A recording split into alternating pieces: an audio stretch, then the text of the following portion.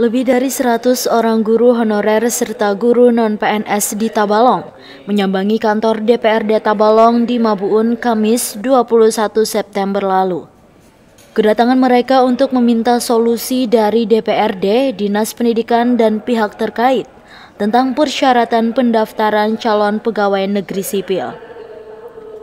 Sejumlah persyaratan CPNS menutup kesempatan para guru honorer ini untuk mendaftar, meskipun mereka telah bertahun-tahun mengajar.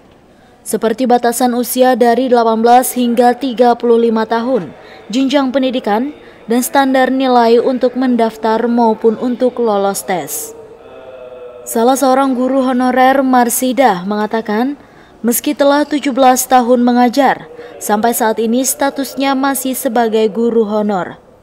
Ia telah berupaya mengikuti ujian CPNS melalui jalur kategori 2K2, tetapi standar nilai yang ia dapat tidak mencukupi.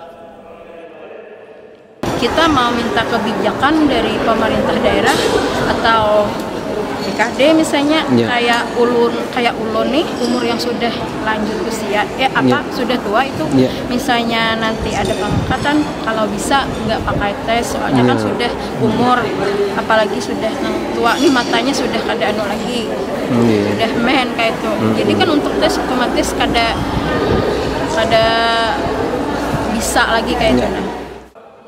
Ketua Komisi 1 DPRD Tabalong Zainal Ilmi menuturkan Persyaratan merupakan kewenangan pemerintah pusat di luar kemampuan pemerintah daerah. Di sisi lain, pihaknya bersama pemerintah daerah telah mengupayakan kesejahteraan guru honor sesuai kemampuan daerah.